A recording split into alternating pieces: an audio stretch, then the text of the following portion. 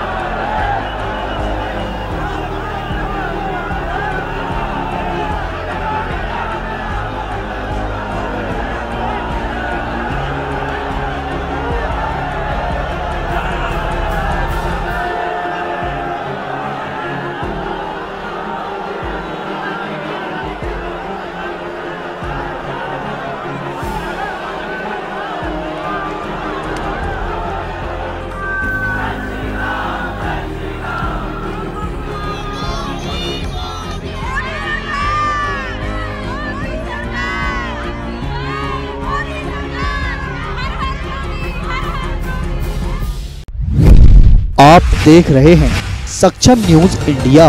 सबसे पहले सबसे तेज।